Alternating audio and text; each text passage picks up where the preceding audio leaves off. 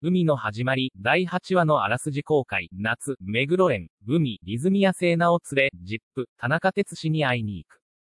人気グループ、スノーマンの目黒蓮さん主演のフジテレビ系、月9、枠の連続ドラマ、海の始まり、月曜午後9時。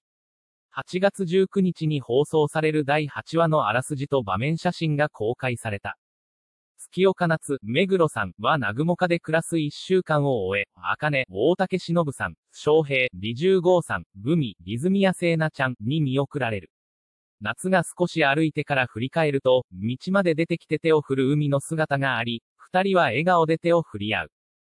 帰り道、夏は新田義彦、山崎重則さんの写真展で現像した写真を受け取り、新たに二つのフィルムを現像に出す。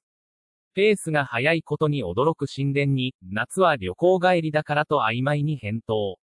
帰宅後、ベッドに横たわり写真を見る夏。楽しそうに笑う海に自然と頬が緩むが、次第に恋しさが募る。